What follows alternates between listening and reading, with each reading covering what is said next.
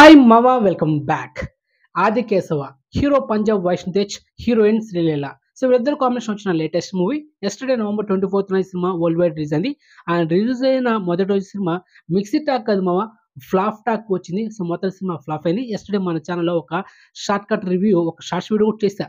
దానికి ముందు ఒక రెండు రోజుల ముందు ఈ సినిమా గురించి ఒక అప్డేట్ ఇచ్చా. ఏంటంటే ఈ సినిమా రిలీజ్ అవుతుంది. ఓకే బాగా ఉంది ట్రైలర్ కానీ ఏదో కొన్ని సినిమాలు కలగలిపి అంటే కొన్ని సినిమాలు సీన్స్ క్రియేట్ చేసి ఏదో ఒక కమర్షియల్ మూవీ తీసామని తీస్తే కనుక సినిమా ఫ్లాప్ అవడం మాత్రం పక్క అని చెప్పి సేమ్ అదే విధంగా చేశాడు డైరెక్టర్ డైరెక్టర్ ఎవరో కానీ డైరెక్టర్ బోయపాటి సీన్ మించిపోయాడు అనమాట వాళ్ళ అన్నలాగా ఉన్నాడు. ఏంటి మా సినిమాలో యాక్షన్ చూసా వేరే లెవెల్ ఉందంట కానీ స్టోరీనే చాలా వీక్గా ఉంది. అండ్ చాలా సినిమాలు చూసిన రెఫరెన్స్ లాగా కనిపిస్తున్నట్టు సినిమా. కొత్త స్టోరీ ఏం కాదు. కమర్షియల్ మూవీనే ఫైట్స్ హైలైట్ సినిమాకి మీదంతా రాడ్ అని చెప్పొచ్చు.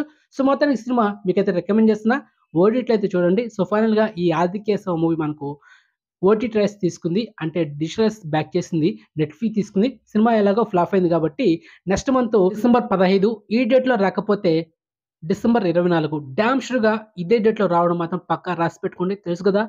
మన అప్డేట్స్ అది డ్యామ్గా నైన్టీ నైన్ పర్సెంట్ వచ్చి తీరాల్సింది డ్యామ్ షో వస్తుందా డిసెంబర్ పదహైదు డిసెంబర్ ఇరవై నాలుగు. Okay? Clear? Okay? So next మంచి ఇన్ఫర్మేషన్తో మళ్ళీ మేము ఉంటా. బాయ్!